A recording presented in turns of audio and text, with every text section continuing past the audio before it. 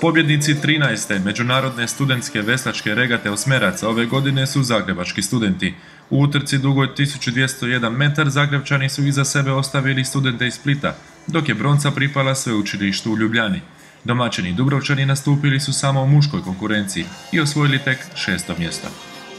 Dobro smo se pripremali, zadnjih mjesec dana smo dosta naporno trenirali evo ga, vidi se, vidi se uspjeh. Vraćamo se sljedeće godine opet po. It was quite hard, a little bit difficult because the, there's a sea and we don't used to row on the sea, we used to row on a river and lakes. so but it was quite adventurous. And um, yeah, the whole place and the, the whole regattas were, were made fantastic.